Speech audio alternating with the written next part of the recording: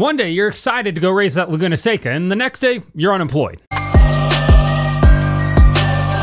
Welcome back to Brake Hard. I'm Matt. Yeah, sometimes you're excited to go out to California. You're like, I'm going to race Laguna Seca for the first time. And the next day, you find out you're unemployed. Well, that's what happened to Theo Pourchaire on Tuesday when McLaren announced that he has been released from his IndyCar contract and he will be replaced with Nolan Siegel, the 19 year old who failed to qualify for the Indy 500. He now will race that car presumably until the end of the season. Uh, that's what we thought with Theo Pourchaire, but Nolan Siegel's deal is for the end of the throughout the end of the year plus uh, a multi-year deal after that. It's shocking, right? Zak Brown has essentially turned Arrow McLaren into mm, Dale Coyne Racing, except they have branding and uh, some more money. Other than that, the two are shockingly similar in the fact that they just cannot keep one driver in the seat if they wanted to. I mean, the six car at McLaren has basically turned into the Browns quarterback at this point. It's just name after name after name after name, and they just can't find anybody to fill that seat. And is Nolan Siegel the answer?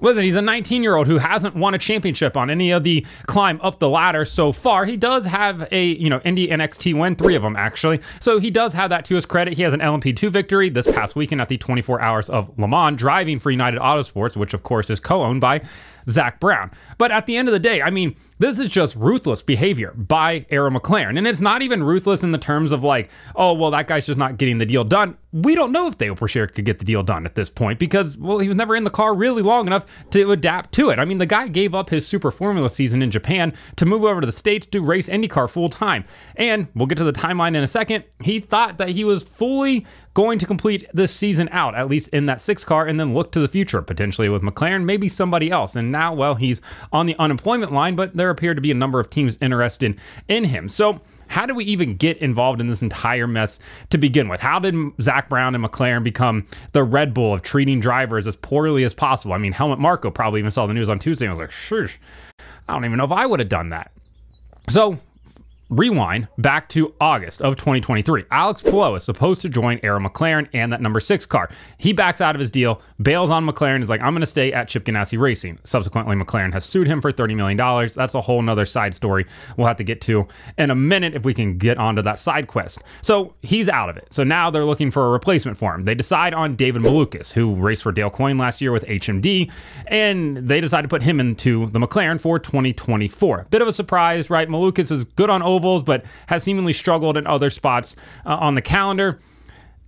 Caught some ricochet shots in that lawsuit that I referenced before, where, you know, Palou and GM refer to him as not an A plus driver.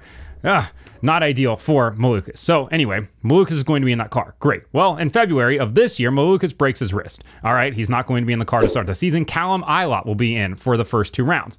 Great. So Callum Ilott's now in the car. That's now the third driver to be named to the sixth car in the course of what are we at? Five months at this point.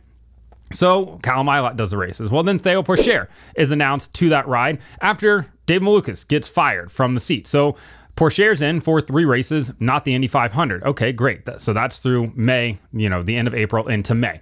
Wonderful. Pourchaire's there. Now it looks like he's, you know, going to be a part of the team. He or Ilott seem to be the guys that are going to be there. So now we're up to, at this point in the process, our fourth different driver in that seat, named to that seat, rather, in the time period. So then we get through the Indianapolis 500. And at the end of May, McLaren announces that you know, Pourchaire is signed through the end of the year for that number six car. Well, flash forward to June now. Pourchaire has been released from that seat. Nolan Siegel will now be in. So that's five drivers in the course of less than 12 months named to that number six seat. An absolute revolving door of, of drivers for that seat and it's absolutely ridiculous. I mean, how can you learn anything about any of these drivers that they're not in the seat for I don't know, more than two races at this point, especially a guy like Pourchaire who's never driven an IndyCar before and seemingly adapted very well to it.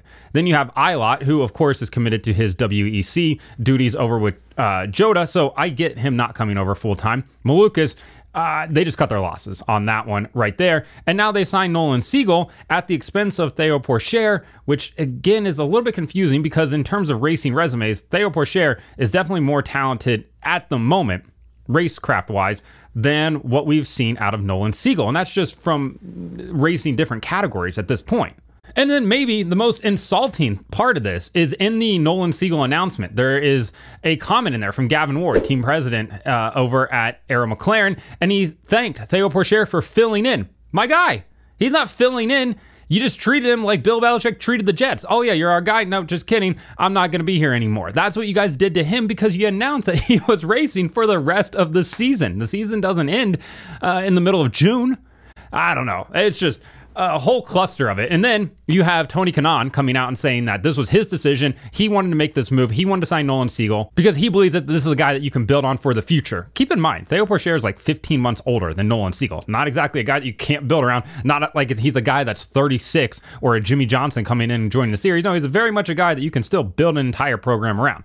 So now Tony Kanaan, you know, has made the decision that he's, you know, taking on Nolan Siegel as a project. And at the Indy 500, when Siegel failed to qualify, Tony went down and tried to coach him up and get him into the race, which is maybe where the seeds got planted at. But all in all, Nolan Siegel is a solid race car driver. Don't get me wrong with that. He's 19, he's young, he has speed, uh, and I think it's going to be a learning process. And McLaren doesn't really ever seem to be that committed to the whole learning process phase. So for Nolan Siegel and his dad and Menlo Ventures, maybe, you know, keep looking over your shoulder a little bit because Zak Brown might just axe you uh, at the drop of a hat. I mean, James Hinchcliffe uh, knows about it. Oliver Askew knows about it. Felix Rosenqvist knows about it. I mean, the list goes on and on and on for them.